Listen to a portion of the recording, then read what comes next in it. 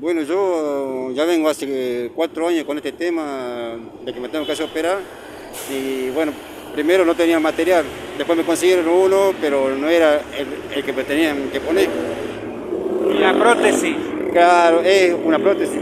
Y ahora, digamos, ya, ya me consiguieron otra prótesis, pero ahora no puedo conseguir un turno. ¿Qué es lo que dicen en el hospital? Y que tengo que esperar, que, que hay otros anteriores y así.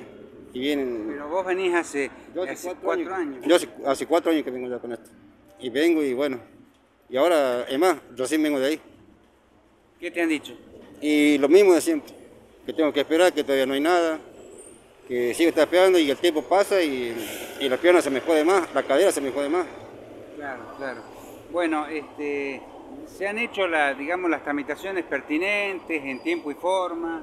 Todo, todo el trámite dice ya. Tengo todo, todo, todo el trámite hecho, este, la prótesis también este, está pedida, eh, que inclusive acá tengo yo un, un papel que me dieron de incluir salud, a donde dice que, que ya tengo la prótesis. O sea que la prótesis ya estaría lista, a ver, ahí nos está mostrando, solicitud, muy bien esto ya estaría en, digamos, eh, lo único que falta es, lógicamente, que las autoridades medicinales del hospital den el turno para la operación. Claro, exactamente, que me, den el turno y que me operen. Eh, eso es lo que estoy pidiendo ya, ya hace, hace, cuatro años que vengo ya con esto. Bueno, el hecho de esperar tanto tiempo puede producir mayores problemas en, la pierna, ¿no? Es más, eh, ya se me jodió, digamos, la pierna derecha la rodilla que digamos que ya la tengo inflamada, eh, parece que tengo líquido, que me está molestando también. Claro, porque haces más fuerza con la pierna supuestamente sana, ¿no? Exactamente, con eso, así que tengo la pierna inflamada y bueno, y cada día me duele más.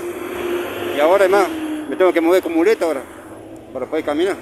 Claro, eh, ¿qué es lo que vas a hacer Y bueno, y ahora no sé, la verdad que ya, ya no sé qué hacer. Eh, sigo te esperando, sigo te esperando, ya al último no sé si hacer huelga, eh, atarme eh, en el hospital, no sé, para que, para que me den turno.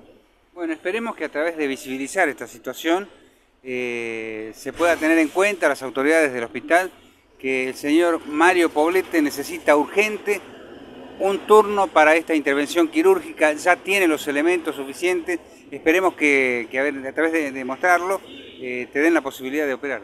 Sí, sí, eso, digamos, te espero que sea, eh, que sea pronto, porque la verdad que necesito hacerme operar urgente para poder trabajar.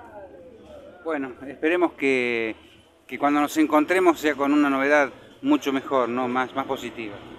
muchísimas gracias, Roberto, y bueno, a todos también, ojalá que, que pueda operarme rápido.